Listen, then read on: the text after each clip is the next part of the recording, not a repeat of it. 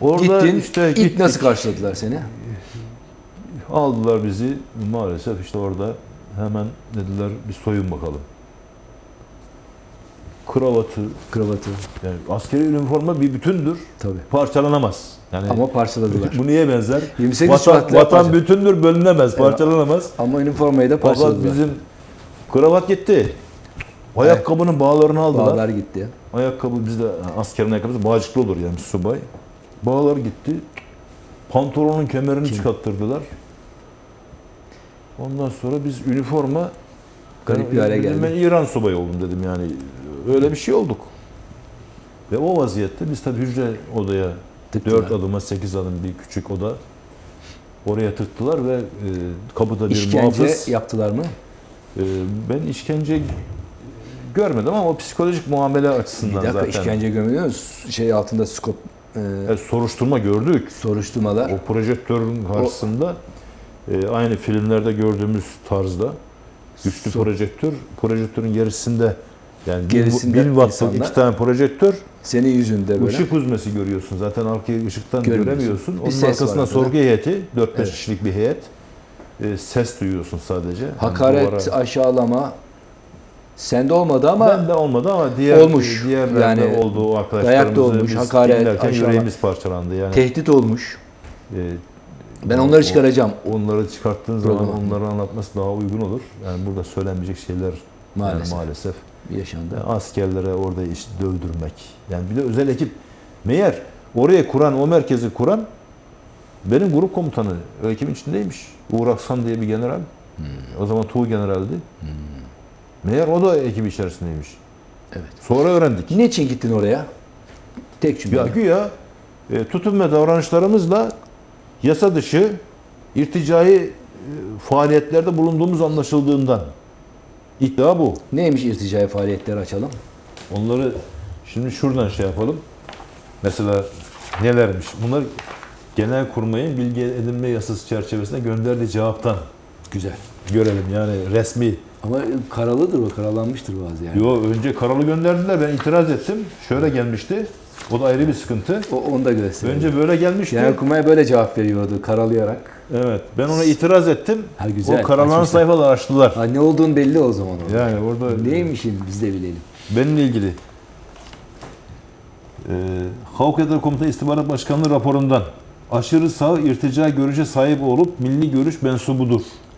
Ben, milli ben, görüş mensubu. Silahlı Kuvvetler mensubu değil, ben milli görüş mensubuyum. Milli görüş mensubuymuş. Benim haberim yok. Milli görüşten de maaş falan almıyordum yani. Madem öyle beni göndersinler. Akıncı grubundan olduğu Akın. ve Akıncı grubundaki çocuklarla gezdiğinin ihbar edilmesi üzerine 20, 25 Aralık 84 bu İskenderun'da olduğumuz dönemler Evet. tarihinde gözetim altı sağcı kategorisini takip ve kontrol altına alındığı Hmm. Orada gezdiğimiz çocuklar da İmam Hatip öğrencileri diye onlar ilgileniyorduk ya. Hayır beraberdik, beraber geziyorduk. Beni yani- almamışlardı, yani seni seni almışlar. demek görmediler. Daha ziyade dinine aşırı bağlı kişilerle samimiyet kurduğu arkadaşlık ettiği suçmuş Di- bu yani. Suç yani dinine bağlı insanlarla arkadaşlık Yani. etmek suç Yani birlik içinde dışında içinde ve dışında dindar olmayan kişilerle özel temaslardan hoşlanmadığı. Neyse bu Allah özel Allah. temaslar. Onu ben anlamadım. Nereden çıkarıyor hoşlanmadığını? Bilmiyorum Mimiklerinden mi? Nasıl? Herhalde yani. Aile ziyaretlerinde misafirlerinin haremlik selamlık olarak oturmalarını istediği. O da suç. Yani. Evet. Büyük suç. Lojman e, çok önemli meseleler bunlar ya. Tabii tabii. Bunlar bir askerin e, yani, vatan çok- savunması için Tabii çok en önemli, önemli. dikkat etmesi gereken Lojman mevzu. sırası geldiği halde eşini bahane ederek lojmana girmeyip sivil konutta oturmayı tercih ettiği. Bu örgüt mensubunun yapacağı bir iş O yani. da büyük suç. Evet. Dışarıda niye Dışarıda oturuyorsun? niye oturuyorsun?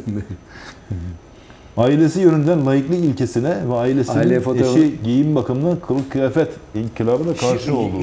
Şunu bir gösterelim Yani ya şu şu şey bu. fotoğraf yani, Yani- evet evet.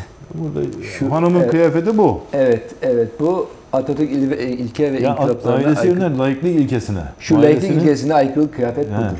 Sevgili seyirciler. karşı olduğu. Bu Evet. millet o zaman hepsi karşı. Yani laikliğin işi zor. Gözetim altında bulunan ve aynı düşüncedeki askeri şahıslarla daha samimi ilişki kurduğu. Demek ki benim gibi düşünen herkes gözetim, gözetim altına almışlar. bir de diyor onlarla daha çok samimiyiz. Ya. Eşinin personel eşleri toplantısında siyasi düşüncesi doğrultusunda konuşma propaganda yaptığı. Bizim hanım da çok şeymiş Oo, böyle yani. yani. Parti yanlısı milli görüşçü oldu. Demek ki milli görüşçülerin parti yanlısı olanlar olmayanlar varmış. Onu da öğrenmiş olduk. Evet. Kütahya Milli Gençlik Vakfı'ndaki bir sohbet toplantısında Güneydoğu'da PKK katliamı diye bir şeyin yap- yapılmadığını, olmadığını, katliamın Türkiye tarafından çıkarıldığını. Haydi bu. Ya bunu bir asker söyledi. Biz, biz Bu tam ya? iftira. İftira tabii. Peki Yani bunu bu- bunu nasıl e, ispatlayacaklar? Nasıl bunu? yok böyle bir şey ya. Yok. Ama zaten ben Peki bu hesabını beni- vermeyecekler mi? Ben bunun hesabını ben sordum. Var mı? Devlet sormaz bunu. Ben sordum. Soracaksın. Bu raporu e, bu şekilde genel kurmaya beni ihbar eden bir affedersin yani o şereften gazeteci şeref şereftir de o şereften yoksun bir gazeteci bu işi yapan. Evet. E, bulduk sonra onun hesabını sorduk. Kürtlerin Müslüman bir toplum olduğunu, Doğu halkının ekonomik, sosyal ve fikri yönden çok fakir ve Türkiye'nin ABD'nin paralı jandarması olduğunu ifade ettiği. Yani Kütahya'da milli görüşçülerle oluşturulan Refah Kent Yapı Kooperatifi'nin yönetim kurulu üyeliğini yaptığı. Ya bir kooperatifteyiz. Biz de üyeyiz orada. Yönetim falan da değilim de. Demek ki bak işte Bulut projesi kapsamında görüşüne başvurulmak üzere çağrıldığı Bulut projesi dediğimiz 7 bu Ocak işte bu Bulut projesi işkence olmuş. bu işkence yüzlerce subayın sonra sorgulandığı proje. Adı Tamam. Bulut projesi. Evet, evet. 7 Ocak 92 e, gün e, istirahat aldığı, 2 gün gecikme ile katılım yaptığı, 10 gün istirahat aldığı ve 28 gün oda hapsi cezası aldığı. Bu- Burada yazıyor işte kendileri bu cezayı verdiklerini. Şimdi 7 gün bunlar- sorguda 21 günü 28 birliğinde çekmiştir. Şimdi bu 28 Şubat'a giden yollar şu anda bunlar. Evet, evet. İşte 28 Şubatçılar aslında bunlar. Bu Bak ekip. burada bu arada e, kendisine uygulanan poligraf e, ta- sorgusunda poligraf dediği Ya- ne? Yalan makinesi. Yalan mı? Bağlandın sen. Yalan makinesi mi aldılar bizi? Türkiye'de böyle bir cihaz kabul edilmiyor. Yani hu- hukuk sisteminde yok. Ama, Ama sen avukatlar bünyesinden bize bunu uyguladılar. bir subayın yüzbaşısını buraya He, bağladı. aynen bizi bağladılar o yalan makinesine. Yani Evet.